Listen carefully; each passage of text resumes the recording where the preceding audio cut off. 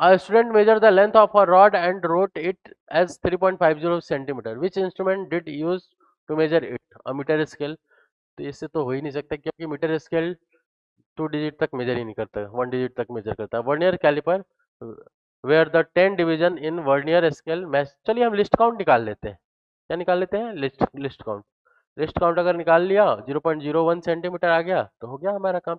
List count निकालने का क्या तरीका है? Vernier ten division in vernier scale matches with nine division in main scale and nine M S T equals to ten V S T least count कितना आ गया? M S T one minus nine by ten ठीक है?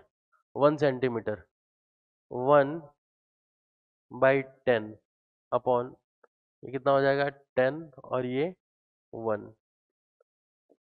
One by hundred.